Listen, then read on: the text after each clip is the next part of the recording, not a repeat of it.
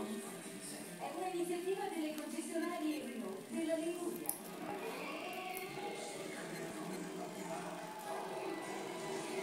Certo che ritornano al loro